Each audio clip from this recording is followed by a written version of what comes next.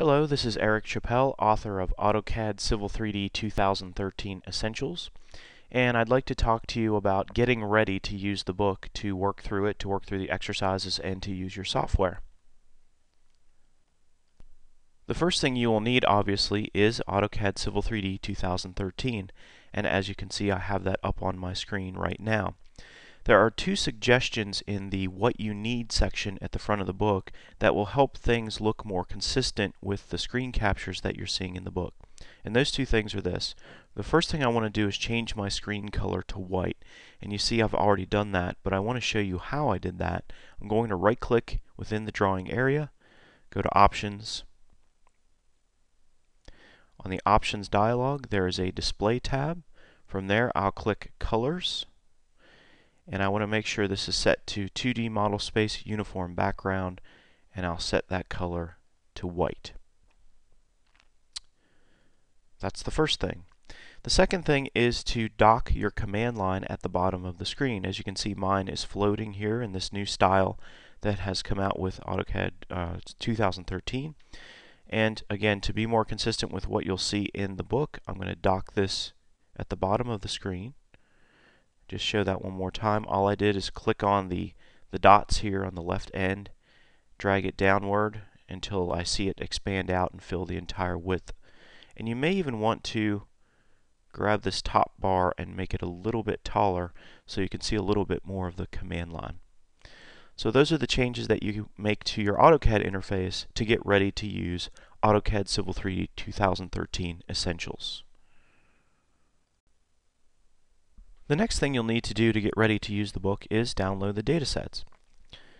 Now the book contains URL addresses that tell you where to do the download, but I think it's easier just to go to the Wiley site and work your way through it in the way I'm about to show you. I'm going to go to wiley.com and while I'm here I'm going to search for Civil Essentials 2013 and that will bring up the listing of the book. I'll click on that which will take me to the books page. And when I scroll down, I see the Downloads tab here. So I'll click that. And then I'll see a listing of all of the data sets available for each of the chapters. So I'll click the first one and go ahead and save that to my computer.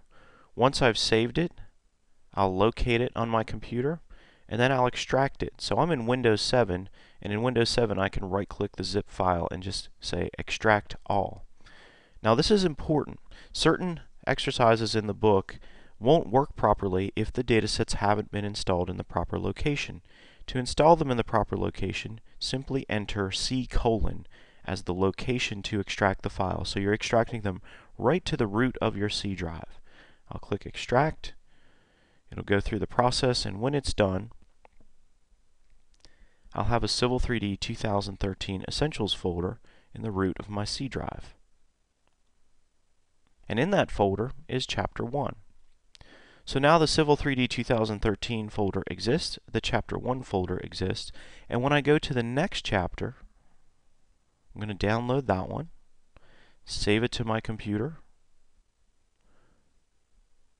locate that file, or that, that zip file, Again, right click, extract all.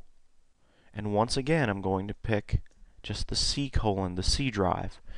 And when I ex hit extract this time, it will recognize that there's already a folder there called Civil 3D 2013 Essentials, and it's asking, do I want to merge the data into this folder? Yes, I do. So I'll click yes.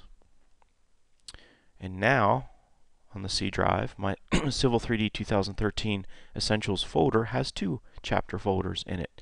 And if I were to go through the remaining 16 folders for all 18 chapters, I would see them all listed here. So that's how you download and install the datasets for each chapter. And while I'm here, I do want to point out there is also an answers appendix for all of the Essentials and Beyond exercises at the end of each chapter. I also want to point out that there are metric and imperial versions of all of the datasets, and also the uh, videos of the Essentials and Beyond exercises are available for download here as well. And that concludes the setup that you need to do to get ready to use AutoCAD Civil 3D 2013 Essentials.